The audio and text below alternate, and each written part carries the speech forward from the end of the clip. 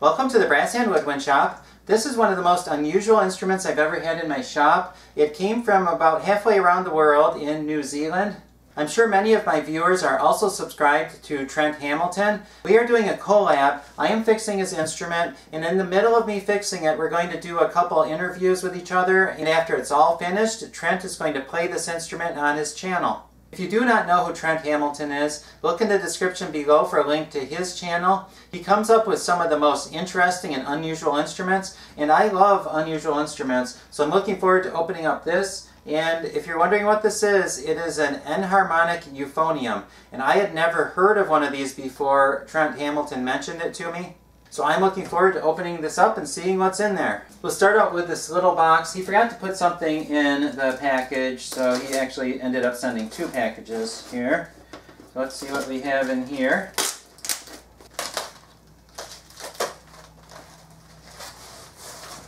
So there's the lead pipe. There are lots of dents in it, so that's a lot of work for me to do. That's a very interesting brace right there. I've never seen one quite like that. And now the rest of it. This is exciting. I have never heard of one of these instruments before. Trent mentioned it to me. Okay, there are the valves. So let's see what's in here. Uh, looks like, uh, wow, this is in really bad condition. Oh well. And some of you might recognize these valves, or at least the setup. Wow, oh, this is in very, very bad condition. But I think I can fix it. Oh, wow. This is going to be a lot of work. Looks like there's a crack right there where the valve comes together. It looks like someone had tried to solder this before, but it did not work too well. It looks like there's a big gap between the port, the tubes that go into the ports and the face of the valve. So that is going to take a lot of work. I'm going to have to solder all those shut. Then after that I'm definitely going to need to plate the valves. These look like they're in really bad condition. Let's see what else we have. Yeah, these valves look like Swiss cheese with all the holes in them. Oh yeah, these are in very bad condition. It's definitely going to need a lot of valve work, but I think I can handle it. Wow, that is an interesting valve right there. I don't think I've ever seen one quite like that. Okay, one more valve in here. Okay, a couple braces. Okay, that's all that's in there. I'm going to keep going and see what else is in here. There is the bell. Huh, that's a smaller bell than I thought it was going to be. Okay, that's a cute little bell for a euphonium. Okay. There is the valve section. Wow. That is quite a mess of tubing right there.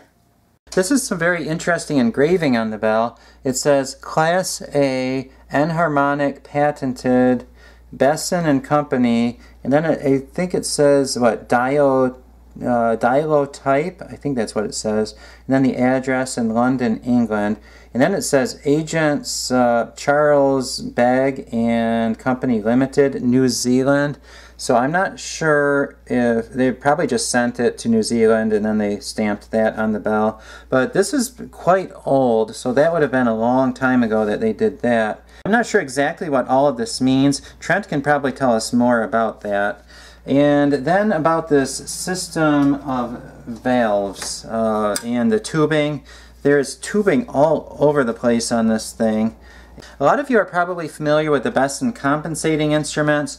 What happens on those, I actually did a video on this before, so you can look at that video. I'm going to leave a link in the description below, but I'll just tell you about it real quick. On compensating instruments, when you do not push down the fourth valve, it just runs it through one set of tubing, and then that's the note you play. If you push down the fourth valve, what happens is it runs it through a second time. So you get whatever valve you push down, that amount of tubing, plus then there's some tubing on the back, then it adds on a little bit so that it keeps the fourth valve in tune and so that it gets the proportion of tubing correct.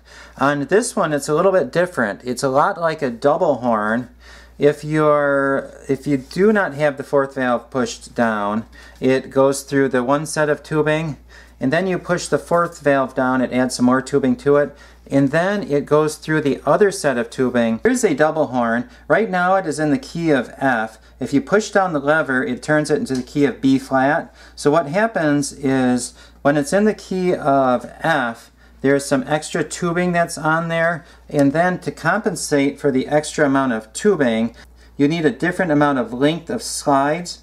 So that's why you see on the top, the slides are longer. That's for the key of F. On the bottom, they're shorter, and that's for the key of B flat. The fourth valve switches it back and forth between those keys, and it also switches it back and forth between which set of tubes the air is going through. This setup is very common on double horns, but I've never seen this before on a euphonium. Let's see how this works. Let's see, where does the air come through? Okay, it comes in through here. Uh, the lead pipe came off, but it's right there. There's the tuning slide. It goes into here. And then, let's see, hmm. Uh, where does, huh, this is a weird, really weird setup. Um, so I guess it comes out through here and into the fourth valve.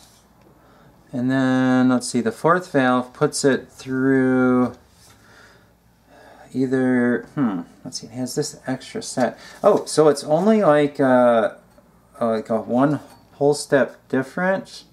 Okay, I'm not sure what key this is in. It's probably in the key of B flat or C. Uh, I'll have to ask Trent if he knows. But I think it just adds on that little bit of tubing. So if the fourth valve is up, I'm guessing it goes through this to put it in the key of B flat. That's just a guess, but that's what I'm thinking. And so then it runs it through this tube right here, which goes, hmm, where is it? It goes, okay, to the back right there, and it runs it through, oh, this thing is very confusing. Hmm. Hmm.